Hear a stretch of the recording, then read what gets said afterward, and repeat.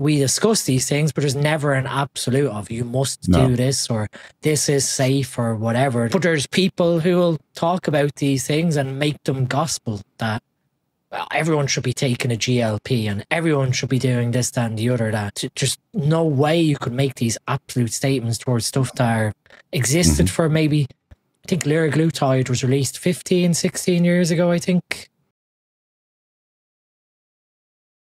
It always surprises me, like now with the GLP-1 receptor agonist and this mitochondrial support stack, that people still cannot get in shape because it, it's so goddamn just- fucking easy on them. Well, they're eating. It's so they're just easy. going to McDonald's three times a day to McDonald's one time a day.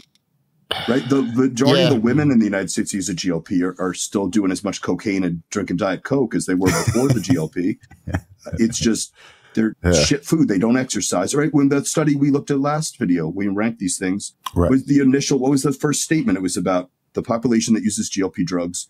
If they would simply exercise, they would Yeah. not experience the side effects that is experienced with these drugs. But no one wants to do that. Yeah, it's a shame.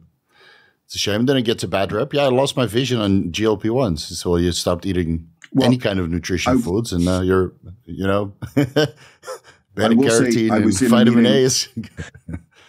I was in a meeting with pharmacists uh, it, it- since our last video, and Hmm. we were discussing GLPs. And the at least the stance in the United States is that we don't know the long term effects of any of these drugs. So no doctor, no pharmacist, no scientist, at least in the United States, can tell you that a GLP drug is safe long term. We don't know, right? We've not.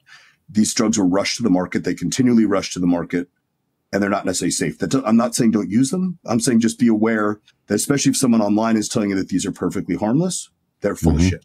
We don't know that. No one can tell you that. Oh, there's Right, plenty there's of side effects in, in the scientific evidence. You know, I mean, I, when I did a retatrutide deep dive, or even when I talked about liraglutide, tirzepatide back in the day, you know, you go through all the side effects and, and how you can mitigate them by just following a healthy lifestyle. Doesn't mean that they're not there. Like I just did my blood work to see what, because I haven't used a GLP-1 receptor agonist for a while. So I started back with retatrutide to make the diet a little bit more tolerable so my mood stays intact. And it's either hardcore dieting and no mood or using a GLP-1 to suppress the appetite and then my mm-hmm. mood is high. So it's, you know, it, it, I'm trying to find a fucking balance. so that's why I use them because my mood is so much better on a GLP-1, even though a lot of guys get depression on it, which is Yeah, weird. I've seen I've seen the research around that, which is quite fascinating with the disruption to serotonin metabolism more so, Hmm. Yeah, and dopamine as well. and the, the some of the suicidal tendencies that they're they're trying to postulate towards tirzepatide more so is what you see a lot of anecdotal uh, reports surrounding like increases in anxiety and then the anxiety triggering off uh, ni- not nice thoughts um, so like kurt said we we talk about these things we talk about mechanistic actions but yeah it's it's very well true that uh, like us we we discuss these things but there's never an absolute of you must No. do this or this is safe or whatever there's but there's people who will talk about these things and make them gospel that well, everyone should be taking a GLP and everyone should be doing this, that, and the other. That just no way you could make these absolute statements towards stuff that are existed mm-hmm. for maybe. I think liraglutide was released 15, 16 years ago. I think, off the top of my head, it's not. Mm. It's not too yeah, long. before it hit the market, I think it was first. I first started using it about four years ago. Yeah, four years because it was about six months before the Olympia. And then I started talking about it. Nobody talked about it about liraglutide and semaglutide. And then I went to the Olympia and it was on all the billboards. Ozempic, Ozempic everywhere. I was like, what the? Did, was this? Is this my fault? Because nobody talked about it back then. So it's it's only been around for four years, and and you see plenty of issues. But that's always or most of the time in people who are unhealthy to begin with. So they were diabetic or, or they had, you know, Two lifestyle two- But issues. to, to Dean's point, though, I think it, it- the drug was invented a long time ago. It, the drug was invented Yeah. a long time ago. It just didn't come to the public eye. Like all these drugs, most of the time you don't see them for years. There, there's a process for the FDA to approve something.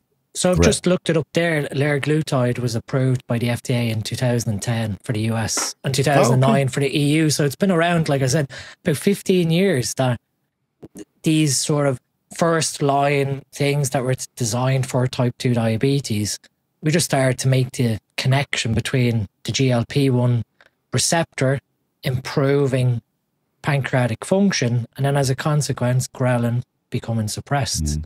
Yeah. Um, that now, obviously, we're looking at using these compounds from a an appetite suppression perspective as opposed to type 2 diabetes and a pancreatic effect that I think slowly over time these things will will be classed as well they're already classed but they will become anti-obesity drugs as opposed to mm.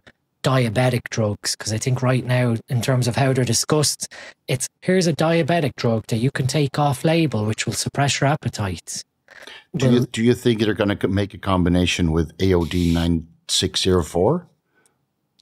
Well, the way it's going and bioglutides, eventually you're going to have yeah. this big giant protein that just serves bloody everything.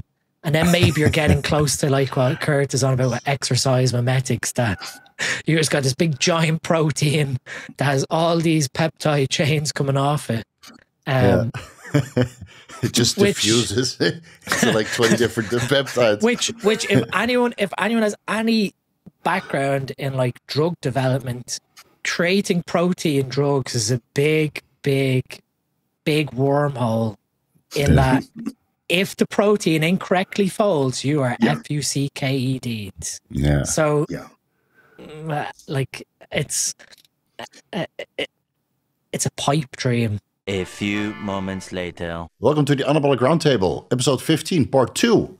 We had some technical difficulties the last time, and then uh, scheduling happened. Uh, Kurt got busy, and Dean got busy, and I got busy, and now we're back for part 2. Uh, we were talking about bioglutide, and I believe in the meantime, uh, people are actually trying that, but I'm still not convinced that, that the bioglutide that's on the market is actually real because there's no CAS number. And the people that have been trying it so far, they've reported not really astronomical effects. Mm-hmm. Um, yeah. Did you guys hear anything in the meantime? No. Not really, just, right? No. Just so people are shown with the oral bioglutides, uh, whatever it is, SS, whatever the code name is of it. That, yeah, and NA931, uh, I think. Yeah, sorry. Sorry, yeah. I, I mean, time will tell when this, alongside the other uh, mega dosing experiments we're seeing come out. Well, I'm I'm sitting in anticipation, watching of what's going to happen. With obviously, the popularity of the high dose SLU, and I think you're going to try it, Steve. I'm on it right now. let me tell you this: it's it's easy to get lean and difficult to get fat. so it's basically like DNP, and my hands are very clammy and sweaty, and it's very easy to get flat also. Um, so I had to increase my carbs, and fat loss is just continuous. So when my mom was here for three weeks, uh, obviously eat a little bit more off diet. She wanted to eat Thai food and Italian and Japanese, and she wanted she had a whole list of restaurants ready. So we went to all of them, and I'm no longer at a point where I bring Tupperware. Um, so you know, if I go out to a restaurant, I'm just gonna eat and normally I would just get chunky in that setting, but I didn't. So that's that's a first. After three weeks of eating in restaurants, I, I barely gained any fat. So it took me one week to get back on the program, and I'm continuously losing fat. So I did some blood work after the four week mark, but I was also on tren. So I saw that my cystatin C went up slightly. That always mm-hmm. happens to me when I'm on uh, the Trimboloni sandwich. And now I'll do blood work again in, I think, this weekend or the weekend after, and I'll release a video about high dose SLU, but so far so good. I didn't see any negative effects besides my wallet being drained because it's not cheap, but it's cheaper than you know doing the the capsules because I got the powder from China, obviously. Mm-hmm. So yeah, so far so good. But I'll do some blood work and then I'll make a video about it and then draw my conclusions.